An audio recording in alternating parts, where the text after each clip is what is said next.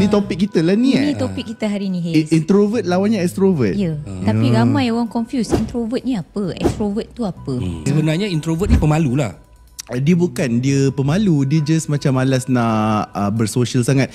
Bila dia bersosial, menggunakan tenaga yang sangat banyak daripada diri dia untuk bersosial, bercakap, Oh. create topik Maknanya dan dia tak sebagainya. nak drain energy dia. Bah, dia uh, social socializing Mhm. mm-hmm. drain energy. Orang yang extrovert socializing tambah energy dia. Gen Z ni dia punya 100% sekarang is all through the phone, through the through Social the media. Social media. Jadi hmm. itulah dia orang rasakan kehidupan dia orang. Maknanya betul. dia orang duduk depan Ya, dia depan- berhubung macam tu. Ah, dia berhubung. Dia berhubung tu. macam tu. Ah, betul. Jadi ini sebenarnya satu keburukan boleh berlaku kepada manusia je apa, apa generasi, Generasi- Z ni kan. Generasi kita. Sebab kita tak ada face to face, kita tak ada bonding yang semacam sekarang ni. Sebab banyak budak-budak sekarang ni kalau kita suruh dia buat presentation, ah. Okay.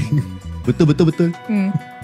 dia jadi goyang Uh-uh. sebab dia dia banyak Dia dah banyak macam ah, dia dia guna dia. so, ah, social media Betul. jadi bila berdepan eye contact, eye, eye contact dia apa semua dia dah dia dah mengelabah. Ah kan.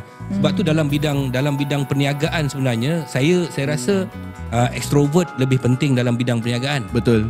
Ah, adakah orang introvert tu kreatif? Dia ada je orang introvert yang tak kreatif kan. kita tak tahu dapat nafikan kan. Tapi saya boleh nyatakan dekat sini orang introvert ni